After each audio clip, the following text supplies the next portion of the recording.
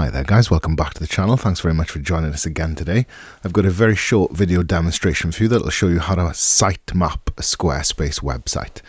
So um, how to access or create a sitemap for your site, whether it's for indexing on a search engine or whatever you need it for, um, to kind of create a list of the URLs from your website that are included on there. Just before I do so, um, I'd like to point your attention at a link uh, in the description for this video that will take you through to a personal copy of a free trial version of Squarespace. Okay, so if you want to try all of this out, then you can do so by clicking that, clicking that link in the description.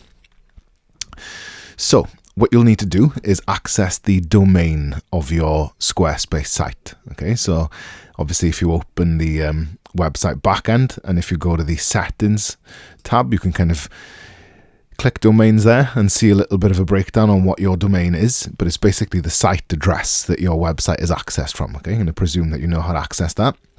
And then if you go and open a new tab and paste that domain name in there, all you need to do is after the .com, and this works for a private domain that's owned via Squarespace website as well. Okay, so if you've bought a custom domain, then this works exactly the same. After the dot .com or whatever you've got a dot for, um, put a slash and then type in the word sitemap and then dot xml. Okay, so that's only all you need to add to the end of the URL for your website. And then if I hit enter, there I get a list of all the URLs then from my site. Okay, so you can either copy paste that, or if you need to give something like the Google search engine your sitemap link, that's it. Okay, so you, you'd copy and paste your URL plus then forward slash sitemap.xml. Okay, and that's that's it.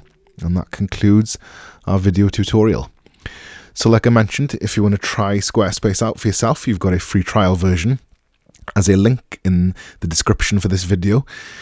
If you like that kind of content and you want to see more, you can subscribe to the channel and give this video a like. And if you've got any questions or queries or anything like that, suggestions for future videos, you can leave that as a comment down below too. Thank you very much.